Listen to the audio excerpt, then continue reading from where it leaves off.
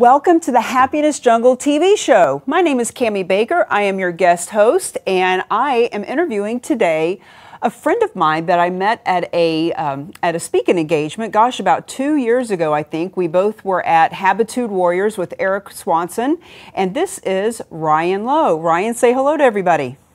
Hello. How is everybody?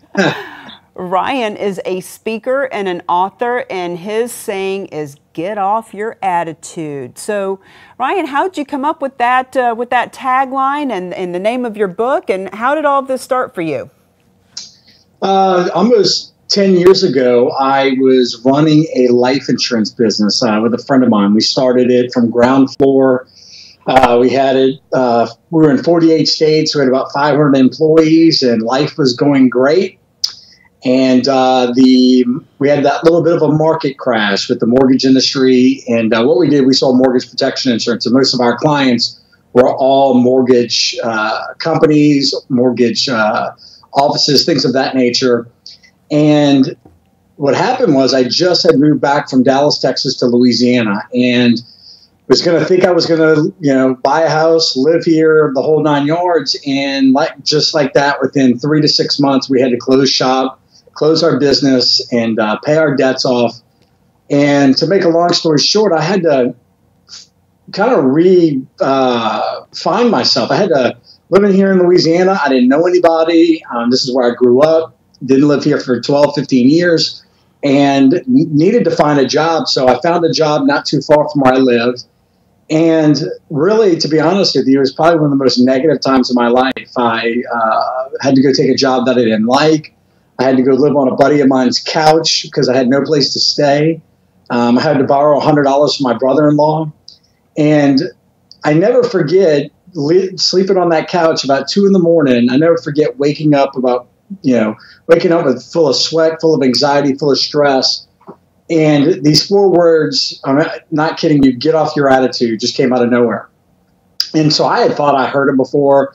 I've, you know, I've listened to Zig Ziglar and been to a lot of his things and Brian Tracy and Les Brown and you name it. I've read all the books and listened to all the videos and, and all the audio sets. So the next day I go to that job that I couldn't stand and I Google get off your attitude. Could not find it. Was nowhere to be found. Um, I called friends of mine that were speakers. I emailed them, hey, have you ever heard of this message before? And they all of them came back with no. So the, the final test was is to go see if there was a website. So I went on GoDaddy.com and Get Off Your Attitude was available. And so I bought .com, .net, .tv, all of them, and that was my new slogan because I said before I was so negative, and in my pity party, and I was just aggravated that I'd lost my business, and I'm working at a job that I couldn't stand. I knew at that point that that was my message to tell myself, "Hey, stop thinking, talking, and acting negative."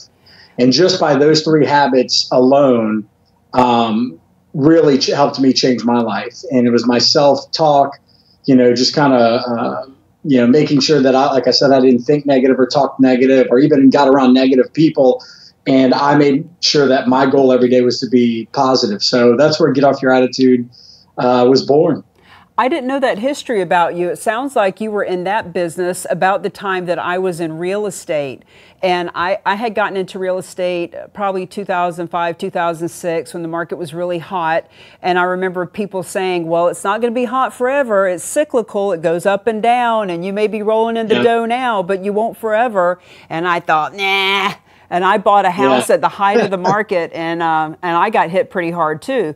So so I did, you know, I wouldn't even think of. All, I mean, all those little ancillary businesses that when when when the first domino falls, bam, they all go yeah. down. So that's yeah. that's amazing. So you know, I have the same thing happen. I I have um, uh, my new book that will be coming out is Lead or Be Led, and I listen to a lot of Grant Cardone, and one of his is Sell or Be Sold, and he has a lot of stuff like that. So I thought, well, lead or be led, surely that that's taken. But I did the same thing. I looked online and nope, nowhere to be found was lead or be led. So that's that's wow. how that's how the universe gives us what we need. So so tell me what you do with with your message. Like who are your perfect clients and how do you how do you share your message? Well, the cool thing is, is that my before I got into the insurance business, and I was actually in the mortgage industry right before I was a VP of sales for a large uh, national mortgage company, and that's how I got into the mortgage industry or the insurance industry. Before that, I traveled with Brian Tracy, and um, for eight years, that's how I met Eric. For eight years, I traveled the country teaching sales, and that's how I cut my teeth on becoming a speaker, not even knowing that. Just going out doing keynotes and doing trainings and speaking in front of organizations. So when I decided to write the book Get Off Your Attitude, my the only thing I really knew what to do was to go out and teach sales and talk to companies about sales. And uh, then I uh, it kind of opened up the attitude lane for me. And then what happened was I started going out as I do now. I go to associations, organizations, uh, different groups around the country and speak about attitude but then I can kind of tailor it to if someone wants, wants me to talk to, you know, leaders about attitude or salespeople about attitude. Or here's my newest one, um, or my two new things is I've had I've done such a great job with companies and organizations leaders and salespeople. They always ask me to come back and talk to their either their customer service department or their operations team, all these different teams within the group or within the company. And the other thing is that it kind of spun off to now is positive culture. So my big thing is I go into organizations and like I said, I either teach leadership, uh, sales, customer service, and now culture. And how do we, uh, you know, keep that positive attitude as a leader, as a salesperson, as someone that you know deals with people on a day-to-day basis. So uh, most of the time, doing a lot of trainings with organizations. I do keynotes for all these big associations and these big organizations that have these annual conferences. So that's where I've been staying busy for the past several years. Well, Welcome to the happiness jungle. When you are talking about positivity, our chief happiness officer, Lyn-Dee Eldridge, who created this uh, this entity and, and logo and brand, talks about that all the time. That you know, happiness is a choice, and no matter what's going on, her thing is about uh, when your cookies crumble, you know, even like for her, uh, uh, breast cancer, divorce, and a mother going into a nursing home all in the same year. And with all that going on, you know, she was able to keep a, you know, keep face about it. And it, she's, you know, happiness is a choice. So talking to people about their attitude, you know, it's, it's a really big business. There's pe- people really need to hear what your message is. So, so when you go in and share, tell me a little bit about what does a what does a talk look like with Ryan Lowe? What what is a typical like um, uh, your itinerary, if you will? Well, one of the things I, I, really talk about, depending, all of my my talks are tailored, so it really depends on you know what organization I'm going in. But it, on a on a whole level, I go in and I really talk about kind of what you just said. We're in control of our attitude. We're in control on um, how we respond. I talk about in my book and in my talks about how children react, adults respond, mm. and how do we respond as adults and, and as professionals when we're in a role and even at home how do we respond i have a five year old beautiful little girl how do we respond with that positive attitude? So i tell stories of uh, experiences that i've had. Um, when i was in high school i got shot with a 12 gauge shotgun. Besides losing a multi-million dollar business uh, getting sick several years ago all these types of different things um, we all battle everyone that's watching this and everyone that's ever been on this earth. Doesn't matter how much success we've ever achieved we all battle with uh, uh, challenges setbacks negative people negative events whatever we want to call them i call them growing opportunities um, how do we you know move forward so i talk about how to keep that positive attitude what is a positive attitude first i have to explain it because most of us uh, kind of some of what you just said. It's something that people need to hear. And growing up, no one really talks about attitude, and a lot of speakers don't even talk about attitude. We want to talk about leadership. We want to talk about sales. We want to talk about, you know, how to become the next best, greatest thing. Well, where does it stem from? It stems from the number one habit linked to our success, our own attitude. So I, I kind of share that with them. I share stories. I share principles. Um, I share a lot of things on um, how to deal with adversity, how to deal with negativity, how to deal with negative people, and how do we stay positive. And then I also, my biggest thing is how do we self improve? How do we keep that positive attitude and have that discipline on, um, you know, listening to podcasts, watching videos, reading books, whatever we can do to better ourselves on a daily basis? Because I find a lot of times that we fall short short on that. Now, what do you think is uh, the difference between attitude and mindset? Mindset is that's a great question. Mindset is what we have set in our mind on what we're going to achieve, no matter what. Um, I tell the story about how you know I never wrote a book before, had no no way, no no training, nothing on how to write a book. If you would have met me ten years ago when I was writing my book, come hell or high water, I was going to write that book. So I had that mindset that doesn't matter what's going on around me, how much money I had, whatever it was, I had that mindset that it was going to get done. Now, attitude, I find, is being more of who we are. How do we respond to that negativity? How do we, um, how are we disciplined? How are we dedicated? How are we inspirational to others? How are we, um, you know, it's kind of like a personality type thing. How do we keep that positive personality? How do we keep a smile on our face even when everything around us is falling apart? Mm, well, I love the way that you made the differentiator there with uh, with those two different ways of, of thinking, with the mindset and the attitude.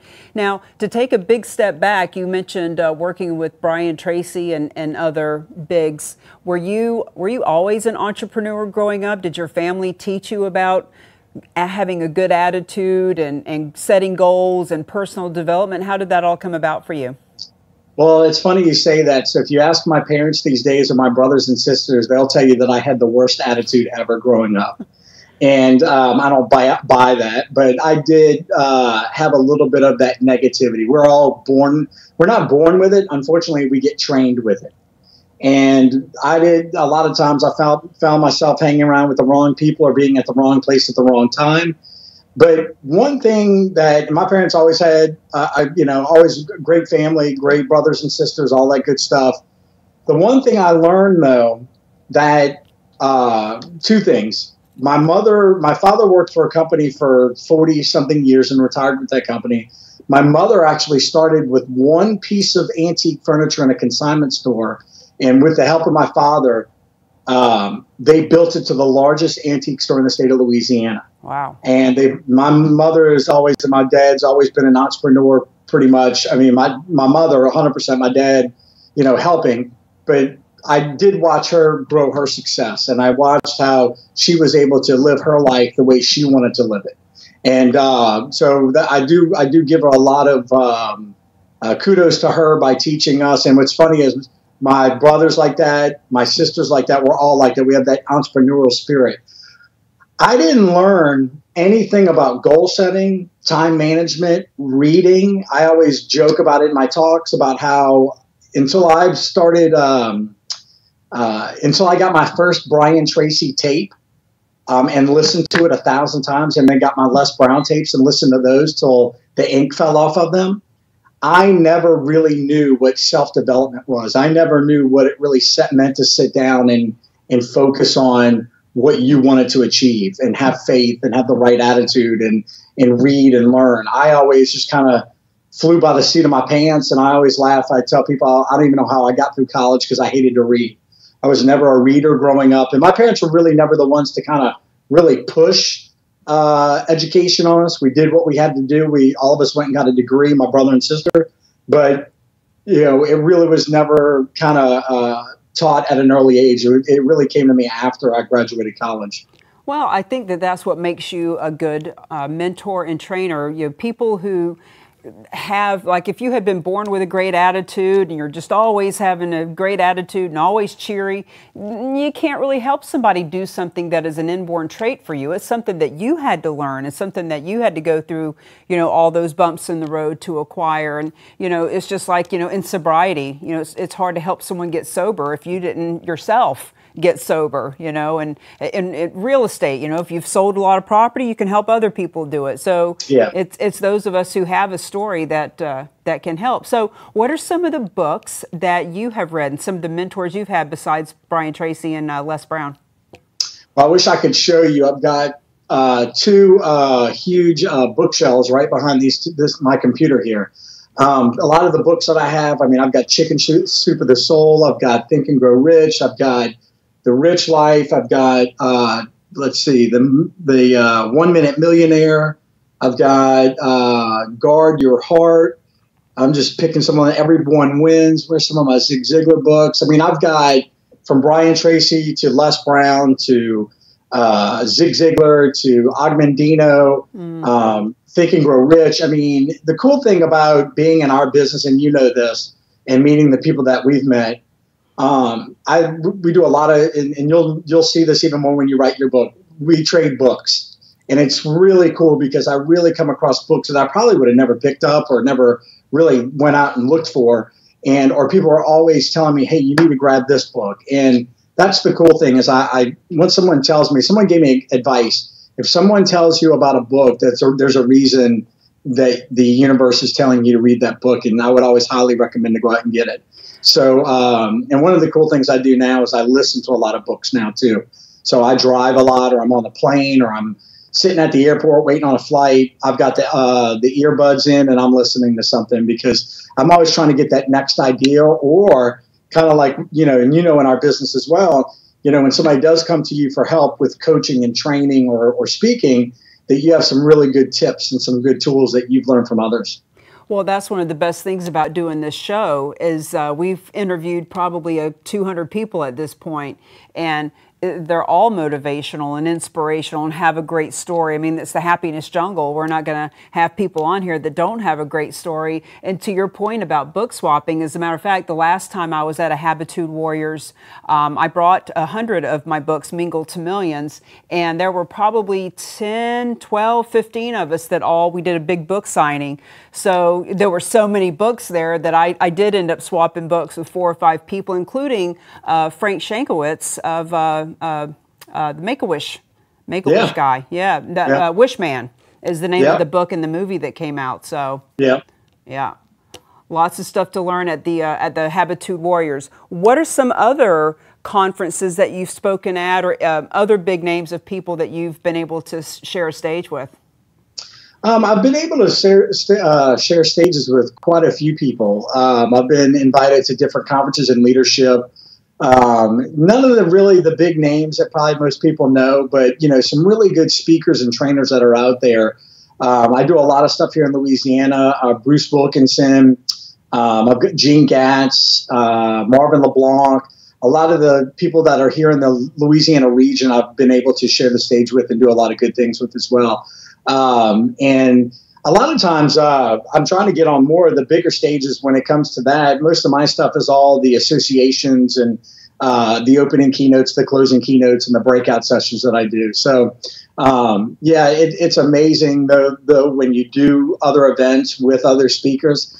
Uh, one thing that I always tell other speakers to do: go take the time to listen to other speakers. Don't just show up. Don't just you know kind of pop in and pop out when you speak. Go take the time and learn. Oh. And I can't I can't tell you. Uh, I had a friend of mine tell me that a long time ago, and uh, it's amazing some of the ideas and things. I mean, I sat through uh, several Habitude Warrior conferences and really learned a lot about different ways and uh, presentation skills, telling stories, things of that nature, and ideas that I even came up with that uh, or ideas that were spoken about on the stage that reminded me of things that I've been through or some ideas that I had that I was able to share uh, on other stages as well. Well, the fact is, for me, the more I know, the more I know I don't know, and the more I know I need to know.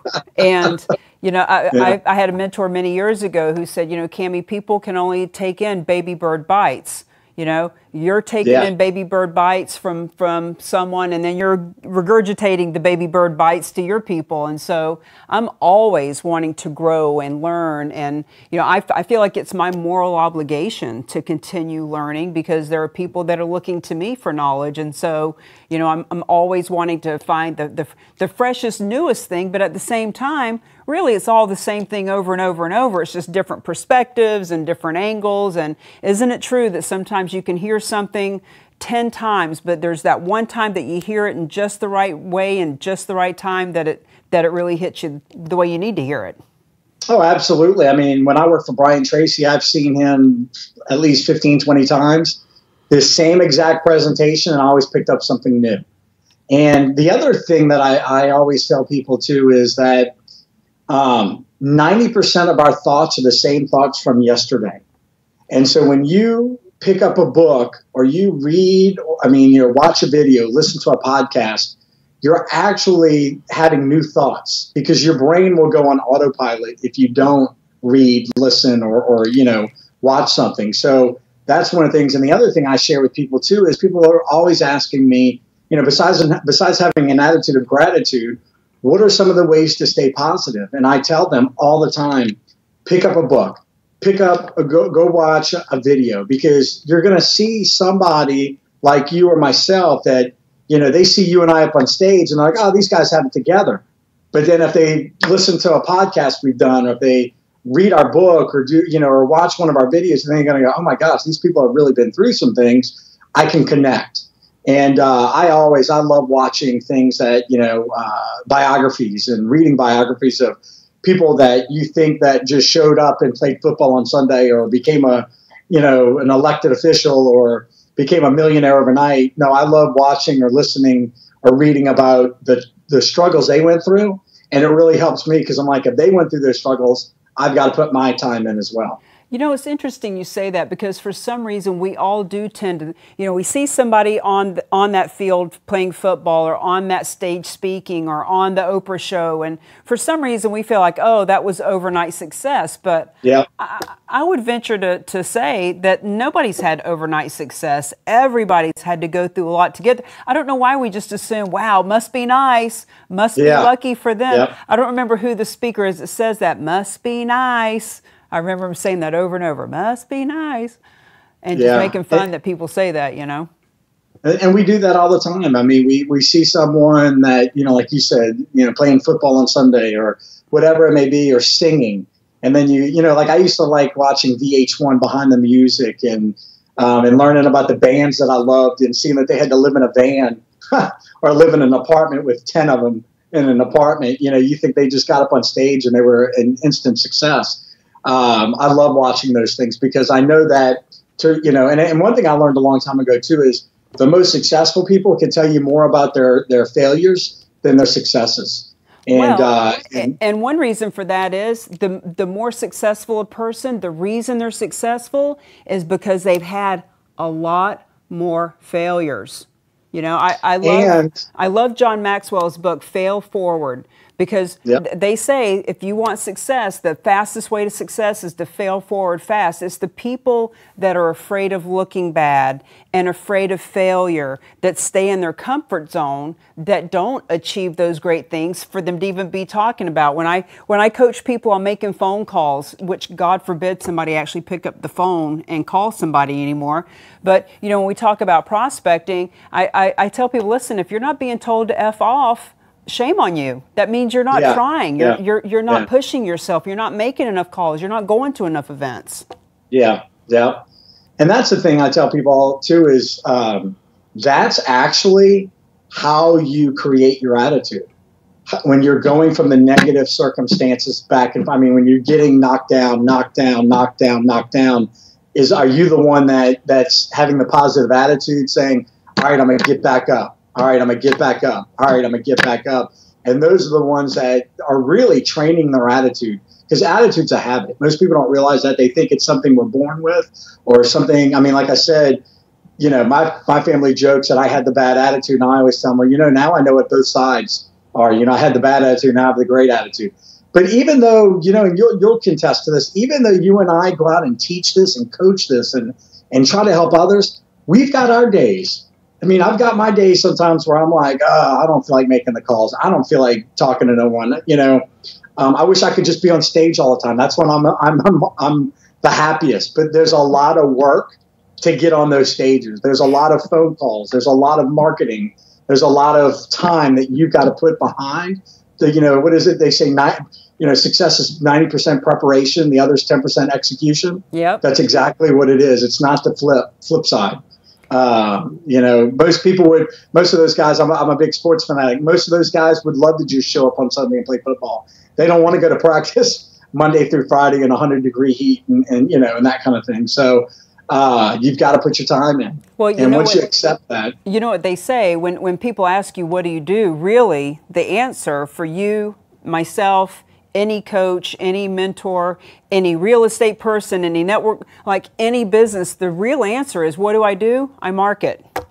Yeah. Because yeah, that's basically yeah. Because yeah. if, if you're if you're not marketing, you can have the cure to cancer, but if people don't know you exist, you're not curing anybody. I want to give you the opportunity to say on camera the names of some people that you would like to be on their stage. I had a guy on um, a few months ago, and he was brilliant with this. He mentioned um, Gary Vee and Grant Cardone and people like that, and then he was able to pull out little bits and pieces of the show to, to make these posts on social media. You got 50,000 hits from saying the names of some people. So, who would you like to give a shout out to that you'd like to be on their stage?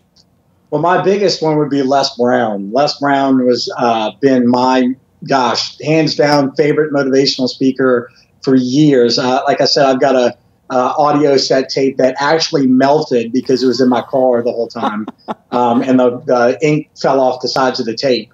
Uh, Les Brown's one that I, I have come very close a couple of times. I thought I had the chance to to get on stage with him. Um, you know, you know, you got Brian Tracy, you got Grant Cardone, you've got Gary Vaynerchuk, you've got um, uh, gosh, uh, Ryan Estis. There's there's quite a few of them out there that I really look up to still. And uh, you know, I'm like a little kid. It's kind of like somebody seeing their favorite baseball player. Um, you know, those are the type of, of people that uh, I follow. I you know l- listen to. You've got even um, um, you know people from the uh, the the uh, show um, The Secret. Uh, you know, there's so many people that I think it's John. Uh, I always get his last name. John Assaraf. Assaraf, that's it. Yeah, I'd love to meet him and sit down with him and um, say that. And, say uh, that. Say I'd love to meet John Assaraf. I'd love to meet John Assaraf. Um, they even have uh, Ed Mylett. I don't know if you've seen his shows before.